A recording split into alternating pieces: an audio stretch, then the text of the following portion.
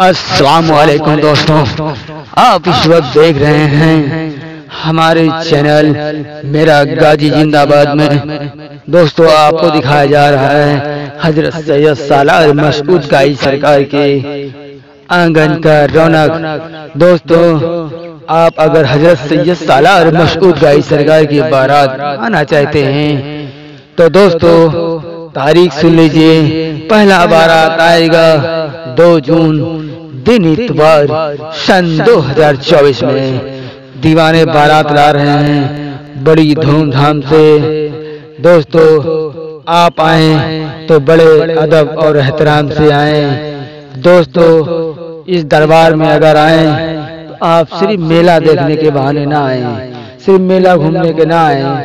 आप ये समझें कि हम एक वली इकराम अल्लाह के वली के दरबार में आए हुए हैं जहाँ अदब और एहतराम किया जाता है दरगाह शरीफ में जाएँ और सलामी पेश करें सलातु सलाम पढ़ें अदब से बैठें और इल्तिजा करें फरियाद करें और अल्लाह को याद करें कुरान पाक पढ़ें तो कुरान पाक पढ़ें सुने और दुआएँ करें रोए गिड़गड़ाएँ इल्तिजा करें आपकी तमाम परेशानियाँ जो हैं, वो इन ताला दूर हो जाएगी।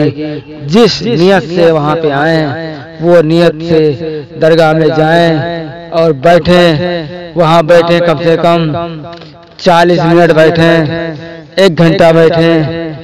इसलिए कि ये वो दरबार है जहाँ पे अल्लाह के फरिश्ते हमेशा रहते हैं और अल्लाह के प्यारे नबी खिजर अलैहिस्सलाम हर चालीस मिनट पर आते हैं। दोस्तों, आप वहाँ पे चालीस मिनट से ज़्यादा ज़रूर बैठे और दोस्तों, उस आँगन में बैठना बड़ी खुश नसीबी है, क्योंकि उस आँगन में हर वक्त नूर बरसता है। ये वो दरबार हैं जहाँ वली इकराम आते रहते हैं। बाबा साहब का बारात दो जून दिन इतवार सन 2024 में आ रही है जिसमें वली इकराम ऐसा कौन वली है जो इस दरबार में ना आता हो? हर वली इकराम आएगा हर औलिया इकराम आएगा हर वलमा इकराम आएँगे मुफ्ती आएँगे भिखारी आएँगे राजा महाराजा आते हैं सब आते हैं आपके दरबार में मिलने मोहब्बत करने और दोस्तों, आप अल्लाह आप अल्लाह के नेक बंदे और सैद शालार मसूद गाई सरकार हैं। दोस्तों, आपने अपनी जान, माल और मोहब्बत में अल्लाह ताला की कुर्बान कर दिया।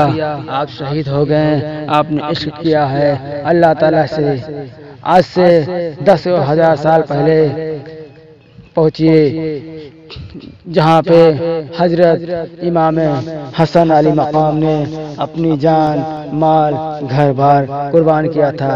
आप ही के इश्क में हज़रत सैयद सालार मसूद गाई सरकार रहमत ने अपनी जान माल अपने साथियों तक कुर्बान कर दिया।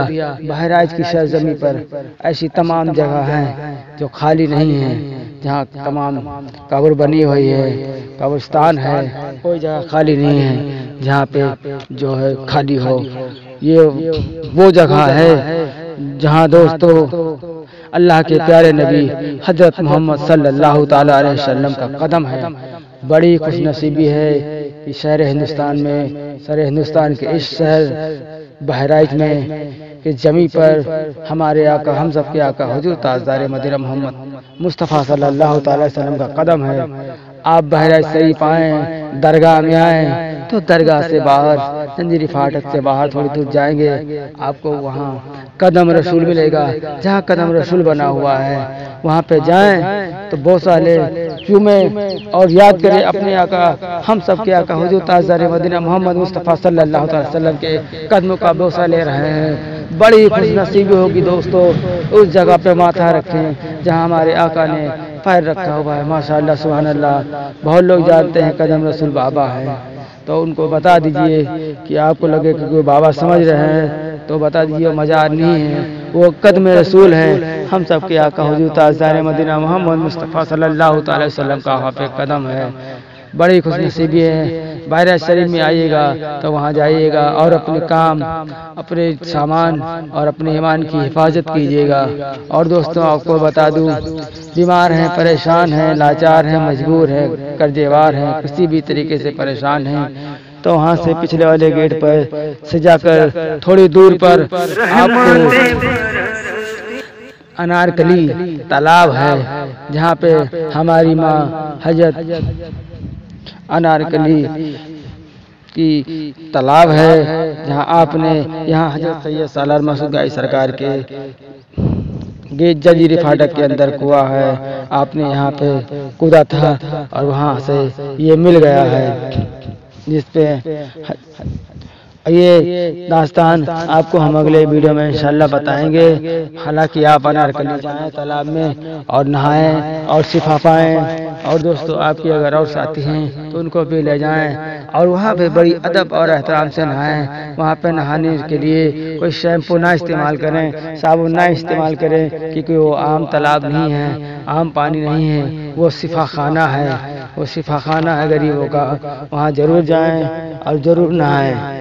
और दोस्तों मोहब्बत से नहाएँ उस पानी से साफ़ हों सरफ साबुन से न लगाएँ जितनी बीमारियाँ परेशानियाँ होंगी सब साफ़ हो जाएँगी। और दोस्तों बता दूँ एक महीने का मेला लगता है। आप बारह दो जून दिन इतवार सन 2024 में पहला बार आता आएगा उसके बाद चौथी आएगी उसके बाद जो है